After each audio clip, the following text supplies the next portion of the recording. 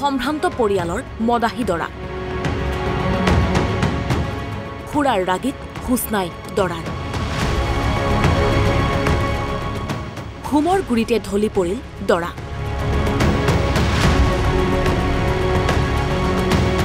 এই দৰাজনলৈ চাওক। অপ্ৰকৃতিস্থ অৱস্থাত থকা যেন লাগিছেনে তেওঁক? ভালকৈ চাওক। হোমৰ গুৰিত বহি থাকিব পৰা নাই আমাৰ দৰা। এয়া নলবাৰীৰ বৰখানাজানৰ দৃশ্য।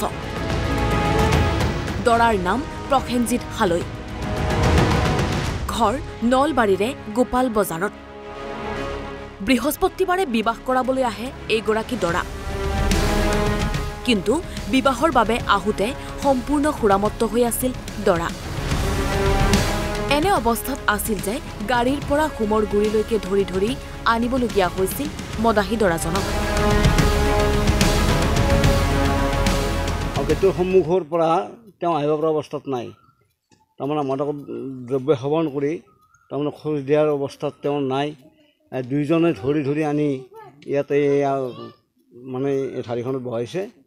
বহি এই দুইজনে তাৰমানে তেওঁক এনে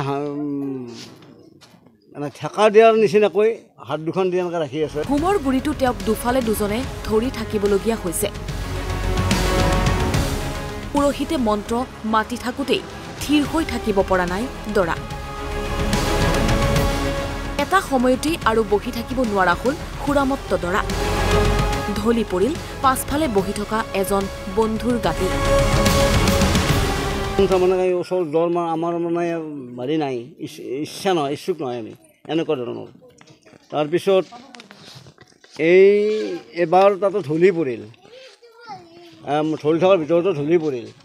ঢলি পৰি কিছু সময় পিছত আৰু মানে এই গোটেইকেইটাই উঠাই দিলে। আনকি তেওঁ গাড়ীৰ ভিতৰত চোতালৰ পৰা গৈ গাড়ীৰ ভিতৰত বহি আছে মই নিজে চাই আছোঁ। তাতেও আনকি মানে তেওঁ মদ বিচাৰি আছে। দৰাৰ এই ৰূপ দেখি কইনাই ধৰিলে ৰুদ্ৰমূৰ্তি। মদাহী দৰাৰ সৈতে বিবাহ ভংগ কৰিলে কইনাই।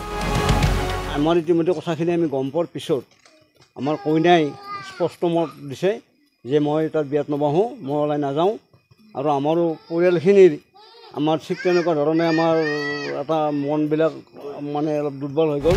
কেৱল দৰাই নহয় দৰাৰ পিতৃকে ধৰি নব্বৈ শতাংশ বৰযাত্ৰী আছিল অপ্ৰকৃতিস্থ অৱস্থাত। এজন আছিলে ভিনিয়েক নেকি তেখেতে তেখেতে অলপ বুজি পাইছে যিহেতু তেখেত নৰ্মেল আছিলে। কিন্তু নাইণ্টি পাৰ্চেণ্ট মানুহে তেওঁলোকৰ মানে কথা ক'ব পৰা অৱস্থাত নাই। দৰা অহা নাই কিন্তু দেউতাকে আহিছে। গতিকে তাত সেই মদ খাই আহিছে তেওঁলোকো গোটাই। কইনাৰ মত পোৱাৰ পাছতেই গাঁৱৰ গাঁওবুঢ়াৰ উপস্থিতিত দৰা পক্ষ আৰু কইনা পক্ষৰ মাজত বৈঠক অনুষ্ঠিত হয়। আৰু অৱশেষত কইনা আনিবলৈ গৈ খালী হাতেৰেই উভতিবলগীয়া হয় আমাৰ দৰা। তেওঁলোকক এটা মানে অপশ্যন দিলোঁ যে অহা ৰবিবাৰে আমি দুয়োটা পক্ষ মিলিত হৈ আমি আলোচনা এটা কৰিম। আৰু এই আলোচনা মৰ্মে ছোৱালীৰ সিদ্ধান্তত এক- সিদ্ধান্তত আমি অগ্ৰাধিকাৰ দিম। এইবুলি কৈ তেওঁলোকক বিদায় দিলোঁ। বিয়া ভংগ হোৱাৰ পাছত আজি কইনা ঘৰত এনেদৰে পৰি ৰৈছে বৰযাত্ৰীৰ বাবে প্ৰস্তুত কৰা খাদ্য। উভতাই নিছে টেণ্ট হাউচৰ সামগ্ৰী। বিবাহ ভংগৰ সাহসী সিদ্ধান্তৰ বাবে কইনাগৰাকীৰ কাষত থিয় দিছে পৰিয়াল তথা গাঁওবাসীয়ে। নলবাৰীৰ পৰা Chandan Sharma N B News.